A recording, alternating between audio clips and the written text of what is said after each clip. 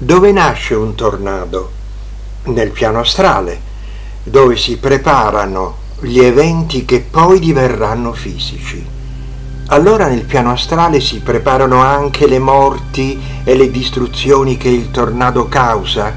Sì, perché le morti e le distruzioni fanno parte del contenuto evolutivo che il tornado comporta, ma le cause spirituali del tornado non si creano nel piano astrale, ma nei piani superiori di esistenza, in primis nel piano della coscienza.